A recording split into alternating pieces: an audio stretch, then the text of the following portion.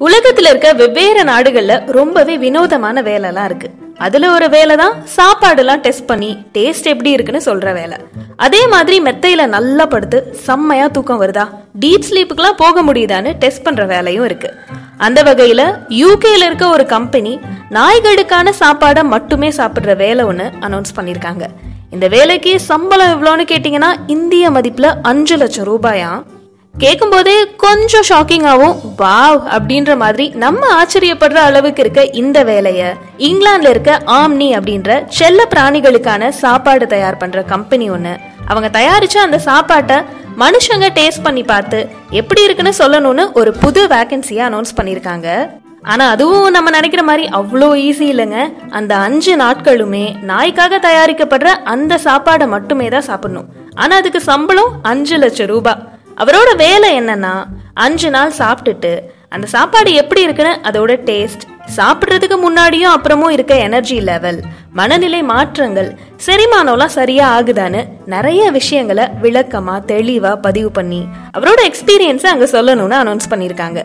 எல்லாம் ஓகே ஆனா ஒரு டவுட் இது நாய் சாப்பிடுற சாப்பாடு. மனுஷங்களால எப்படி சாப்பிட முடியும் அப்படின்னு உங்களுக்கு தோணலாம். அதுக்கும் இவங்க ஒரு பதில் சொல்லியிருக்காங்க.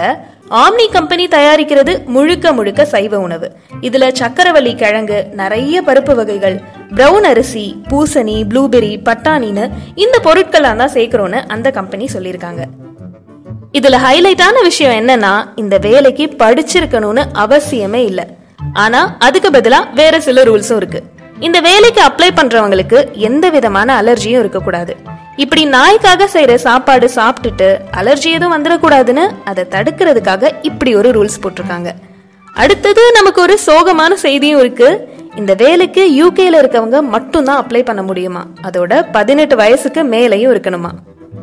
இதுல சாப்பாடு டெஸ்ட் பண்றவருக்கு சாய்ஸும் கொடுத்துருக்காங்க. ரெசிபி எல்லாம் அவருக்கு ஷேர் பண்ணி அதுல அவருக்கு பிடிச்சத அவர் செலக்ட் பண்ணிக்கலாம். கூடவே ஒரு நியூட்ரிஷனிஸ்டும் அவருக்கு அட்வைஸ் பண்றதுக்காக இருப்பாங்க. நம்ம கேட்கும் போதே பொறாமலாம் இல்ல ஆனா லைட்டா பொறாம தான் அப்படின்ற அளவுக்கு இருக்க இந்த வேலையை பத்தி ஆம்னியோட கோ ஃபவுண்டரான ஷிவ் சிவகுமார் என்ன சொல்லியிருக்காருன்னா நாய்களுக்காக ஸ்பெஷலா தயாரிக்கப்பட்டாலும் எங்க கம்பெனியோட சாப்பாடு மனுஷங்களும் சாப்பிடுற அளவுக்கு ஒரு குவாலிட்டியில இருக்குன்னு வெளிப்படுத்த தான் இப்படி ஒரு முயற்சி.